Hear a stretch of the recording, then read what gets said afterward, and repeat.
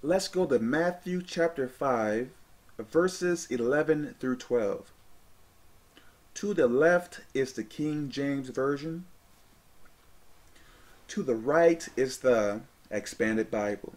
Blessed are ye when men shall revile you, and persecute you, and shall say all manner of evil against you, falsely for my name's sake, or for my sake. So, what is that saying there? This is saying, first, what does revile mean? Revile is pretty much to insult, to mock. I guess to speak to a person in a very abusive manner. Okay, what does persecute mean? Persecute is harm, harass, hurt, or kill. So this is saying, blessed are you when people lie on you, when they speak to you in a very abusive manner, when they hurt you, harm you, or kill you for the sake of God.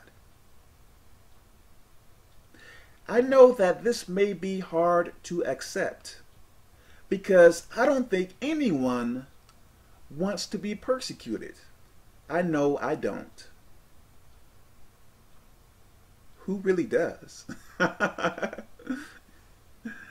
if you do, let my persecutions come to you.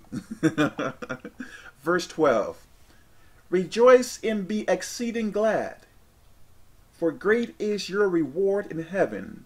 For so persecuted they the prophets which were before you. So, what is that saying there?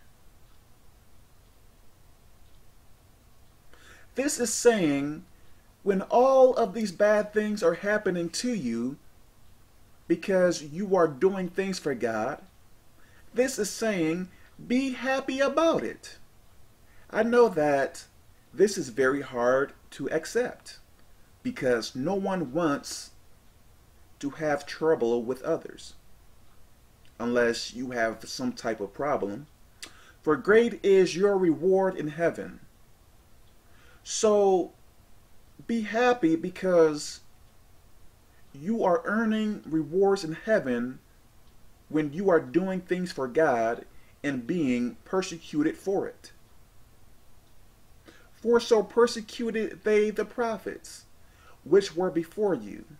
So they were doing the same thing to the prophets as well. And according to this, if the prophets done the right things toward God, they have a reward in the heaven now. So we should do things for God, not only for the rewards, but because we want to bring more people to God. That is much more better. I know for myself, even for my enemies, I don't want my enemies to go to hell. I really don't. So, really take heed to this.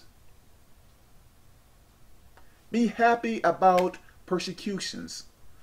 So, this is like the main point of these verses here.